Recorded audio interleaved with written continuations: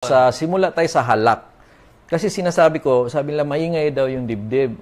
Sabi ko, sige ba ubo ng ubo? Eh hindi naman talaga, dok, maingay lang yung dibdib. So iba yung halak, maingay lang yung dibdib pero hindi siya umuubo. Ngayon, yung sinasabi ko sa mga pasyente, yung lungs natin, matalino yan. Bakit tayo umuubo? Kasi gusto ng lungs may ilabas. Ano yon? Either, either infection or bacteria kaya tayo umuubo kasi gusto nating ilabas. Ngayon, kung maingay yung dibdib, eh hindi naman umuubo, ang sinasabi ng lungs, wag lang magpanik. Hindi nga ako umuubo eh. Ibig sabihin, itong halak na ito, hindi ito delikado. Karamihan sa halak is gatas, lalo na sa mga one month or two months. Gatas na, ano to, GERD? Hindi GERD. GERD, yung nag-overfeed. Overfeed, na parami. na Kaya- parami. So sige, sige lang ah, iyak yung baby, dodo, iyak ang baby, dodo, dodo, iyak. So parang yung dodo ang pang ano nila, pang pakalma. Eh, napupuno na yung tiyan ng baby, lumalabas yung gatas. Tatlo kasi ang labas niyan. Number one, yung lumalabas sa bibig. Yung nakikita natin after feeding, lumalabas. Pangalawa, may pumunta sa ilong, sa likod. Yung ibang pumupunta dito or nagbabara sa ilong, kaya parang hindi makahinga. Number three, yung isang side pumupunta sa lungs. Yun yung naririnig yung humihinga siya. May, meron ng gatas yung lungs pala niya. Ngayon, nawawala naman yon. Siyempre, nagdodo ulit, bumalik na naman yung gatas. So, number one, So, kasalanan ni Mami. Napasobrahan ni Mami Yun. ng gatas. kasi daw humihingi daw parate. Oo. Sabi ko sa mga pasyente, ang bata humihingi yan parate talaga. Kasi sarap na sarap talaga siya. Para bang tayo ba, paborito yung pagkain, kahit busog ka na, parang gusto mo pa rin kainin kasi nga, paborito mo. So, ang baby rin, parang tayo yan, naghahanap ng entertainment. So, kung walang TV, parang bored tayo. Pag may TV, na-entertain tayo. Ang baby, ganun din. After an hour, naboboard. Eh, hindi naman nanonood ang TV ang baby. Hindi naman nagsiselfone ang baby. So, ang, anong, ano bang nasa isip ng baby? Ano bang masarap kong gawin? Ang isip ng baby, ah, ang sarap magdodo. Eh, yun lang naman ang alam ng one month old eh. Akala ng baby, ang pinakamasarap sa buhay, magdodo. So, iiyak siya after an hour kasi nga gusto niyang magdodo. Not necessarily na gutom siya, except bored siya, gusto lang niyang ma-enjoy kasi ang sarap ng milk. So, siyempre, ikaw naawa ka, nagpadodo ka, nagpadodo ng, eh, taka ka, ang laki ng tiyan, sumuka na, kasi nag-overfeed ka. So, you have to, dalawa kasi ang enjoyment ng baby eh. Ah, ang pagdede, saka ang sayaw. Dalawa lang ang enjoyment niya. Sayaw? Sayaw. So, Baby sumasayaw. isasayaw mo. Sasayaw Ah, sasayaw mo. Ah, sasayaw mo. So, dalawa ang, ang enjoyment na. Habang one month, two months na hindi pa masyadong malinaw yung mata nila, pagka umiyak siya, alam mo namang one hour eh. Mas maganda siya 3 hours or 4 hours interval. Papahinga mo muna. Eh, one hour, naghihingi ulit. Ibig Sayaw sabihin, muna. entertainment yung gusto nun. Siyempre, bibigyan mo ng milk, dododoin yun. Pero hindi talaga yun dahil sa gutom. Ang sarap lang daw. So, dapat i-enjoy mo siyang isasayaw para sabihin nyo, eh, masarap din pala itong sayaw. So, ang ending, nadadigest yung food, nalalayo yung feeding, nag-lessen na yung, yung pagsuka ng milk, tsaka yung paghalak sa, sa lungs niya. So, very important yung interval. Sayaw is very important. Ah, kasi gusto din ng baby na So, malaman na kailangan dyan. yung mami marunong sumayaw. Yes. Yung daddy marunong sumayaw. Yes, actually nakakapayat yun. Yun, yun, yun, Nakakapayat. yun yung purpose din na para ang mother makarecover ng katawan niya. Kasi by nature, after mga anak, gusto naman ng mother na lumiit siya ulit. So, yung pagsayaw, actually, it's part of nature na ang, ang body ng mother makakabalik. So, wag Para mong, sexy si mami. oh, wag mong pigilan yung nature Pwede na ba yun. yung baby na sa harap lang tapos sumasayaw yung parents? Na-enjoy din niya yun? Usually sa one month, hindi one month, two Wala- months, Mga one-year-old kita na niya. oh, kitang-kita yon one year old. Ginagaya na niya. kitang wala ng problema yun. Usually, at the age of 3 months, 4 months, mas ano ng mata niyan. Ah. So, kaya nga sabi ko, lagyan mo lang ng pabitin sa harap yung 3 to 4 months. Gusto Pwede na, yun, pwede yun. Oo, gusto na niyang abutin. So, magtaka ka, hindi na siya humihingi ng gatas parate. Kasi, enjoy na siya, na, nadidiscover niya, ang ganda pala ng mundo. Uy, ito, meron ako nakikita.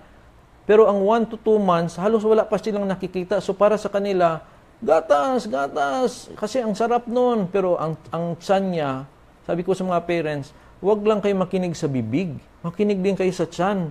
Ibig sabihin, anong sinasabi ng tiyan? Sinasabi na ng tiyan, tama na, punong-puno na kami dito. Kasi ang sabi ng bibig, sarap, ang sarap. Pero yung tiyan, wala na, puno na. So doon na yung side effect. Suka na yung bata. Susuka na. So, Ay, so yun yung sahalak. Which is not dangerous. Yung, yung normal na ubusipon naman talaga, yung Yan. may plema. Yan, oh, may, meron kasing tinatawag tayong hyperreactive airway disease. Karamihan ng mga bata, meron talagang parang may wheezing, mm, ganun. Alert hika ba yun? May, may partly hika siya, pero hindi natin sinatawag na forever na asthmatic. Pero majority sa mga majority sa mga bata, medyo parang may konting hika.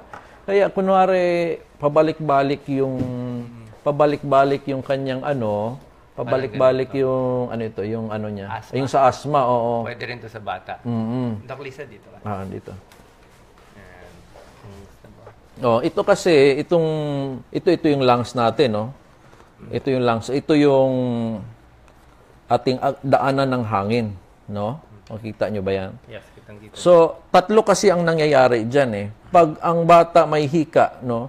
Number one, itong tube na dumadaan yung hangin, lumiliit yan siya. Para siyang kumukonstrict ganyan, lumiliit, no?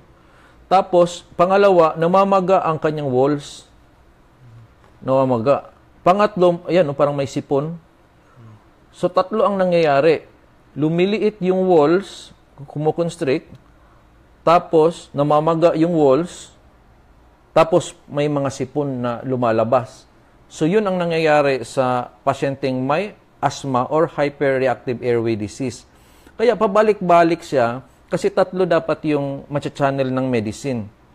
Kung ordinary lang yon, kahit isang gamutan lang na may salbutamol, guaifenesin, solved na yon.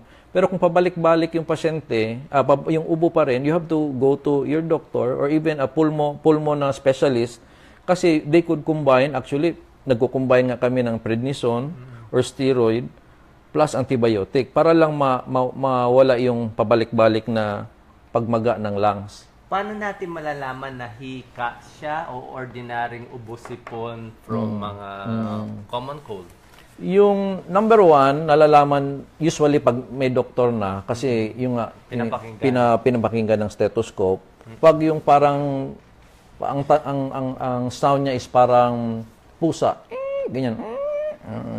Yun, medyo yung airways nun medyo masikip. Sikip. Mm. So, yun ang sinasabi ng pediatrician, medyo may pagka-asthma. Ngayon, sometimes with one round of medicine, hindi siya nawawala. So, kailangan bumalik ka. Baka another round or baka kailangan ng maintenance. Kasi sabi ng iba, mga ilang buwan na, hindi pa rin nawawala. So, meron po kaming mga maintenance na binibigay. Pwede nga yung inhaler na maintenance if necessary. Huwag po kayo matakot pag ang doktor nagsabing kailangan ng maintenance ito sa hika para makontrol yung pabalik-balik that is proven safe naman po yung mga gamot na maintenance for hika. So sometimes yun lang pala ang kulang nung mga nag nag ah, nag-question sa atin kasi hindi pa sila nabigyan ng maintenance. And other than that, pag meron kaning ubo na hindi nawawala, kino-consider na namin yung TB, no? Tuberculosis.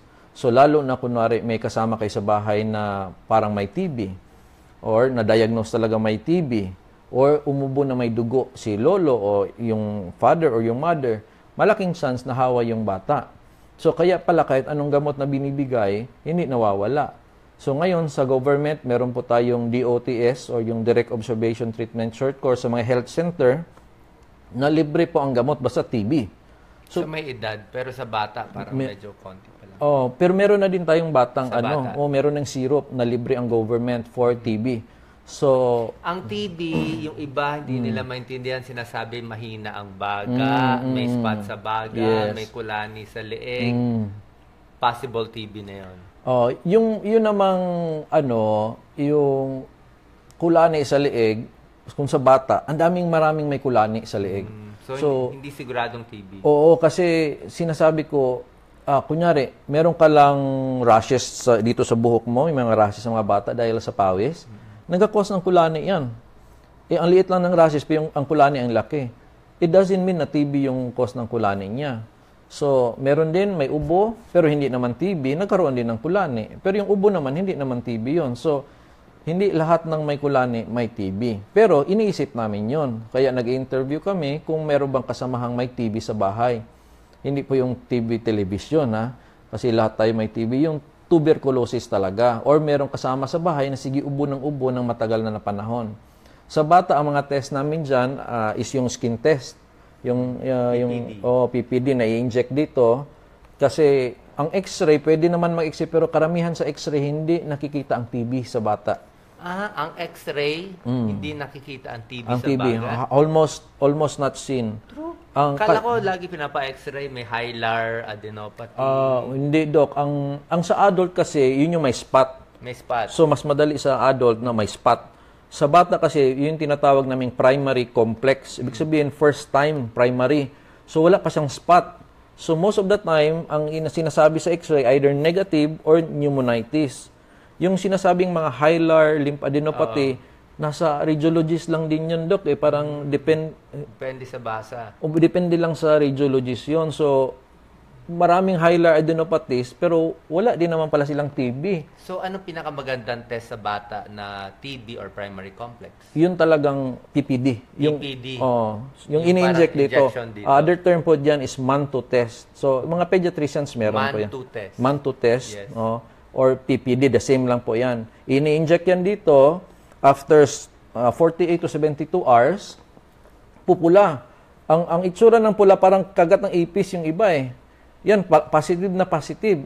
So no doubt na. Pero kung medyo maliit lang yung red, parang alanganin pa. So mas mas malinaw kung mas malaki yung pula. Yun, talagang i-treat na namin ng 6 months yun. Yes. Ah, yes, usually meron din kaming x-ray na pinagawa, pero it's more on sa skin test na sa bata. Kasi kung kung malaki na, pwede sana yung sputum. Kasi dudura ng ano, laway, ah, ng ano, plema para matest. Pero ang bata kasi hindi hindi marunong maglabas ng plema eh. So ang ang bata usually it's skin test. Bago natin iwan tong topic, Doc Richard, Mm. marami sa atin, syempre, hindi nila matanggap na yung bata may primary Mm, complex, hindi nila matanggap yung diagnosis na TB, nakakatakot, Mm. bakit nagkaganon yung anak ko o ako. So, paano mo sila Mm. sinasabi Okay. Mm. na ganun ang sakit, kailangan uminom ng anim na buwan na Okay. gamutan? Number one, hindi na nakakatakot ngayon ang primary complex. Ah, ah, number one din, ang bata ay hindi nakakahawa sa ka- kapwa. Yung, yung Yung hawa, bata hindi nakakahawa sa kapwa bata kapwa at bata, matanda. matanda. So, ang usually- matanda lang nakakahawa Oo, sa bata. Hmm. kasi may butas sila, may spot na eh. So, doon lumalabas. Pero yung bata, primary complex siya. So, hindi ibig sabihin na hindi na siya pwedeng makipaglaro sa iba. Kasi hindi nga siya nakakahawa. Ngayon, ang gamot naman ay very effective. Huwag nyo lang lulundag-lundagan. So, hindi na po, hindi po cancer ang tuberculosis. May medicine po dyan. At ah, sa totoo lang po, 9 out of 10 Filipinos are exposed to TB. Hindi po lahat tayo may TB. Ibig sabihin, exposed to TB. Ah, ibig sabihin, marami sa Pilipino ang exposed sa TB. Yung mahinang resistensya, nagkakaroon ng TB. Yung ma- ma- magandang resistensya, hindi naman. So, it's not scary kasi common eh. So, wag lang kayong matakot at ah, merong gamot ang government kung, kung gusto nyo ng libre at meron namang pwedeng bilhin sa butika. Basta i-follow nyo lang yung 6 months. And at, kaya nga yung iba sinasabi nga eh, para yung ibang doktor, parang good or bad din yung pag-advise, pero sabi nila, vitamins ng lungs ito. Inumin mo ng 6 months. De, hindi natakot yung mother kasi sinabihan nga na yung gamot ng TB, Ay, vitamin, vitamins. vitamins, for naman- 6 months. Hindi naman talaga vitamins. Hindi naman talaga. Eh, Oo, gumaling, gamot sa TB. gumaling. Ang ginawa nung kapitbahay, binigay yung gamot sa kapitbahay din. Kasi vitamins, gumaling yung anak ko dito. Eh, bawal yun. Hindi mo pwede pamigay yun kasi Hindi talaga vitamins Hindi talaga yun. vitamins Antibiotic yun. para sa TB. Oh, kapag pag may nagsabi sa yung bigyan ng vitamins sa lungs yung anak nyo kasi yung aking binigyan ng vitamins sa lungs, ibig sabihin, nag-TB treatment siguro siya. So you have to be you have to be clear na sa pasyente na may TB ito pero pang baby lang, kailangan lang ng gamot na 6 months na wag lang lulundag-lundagan.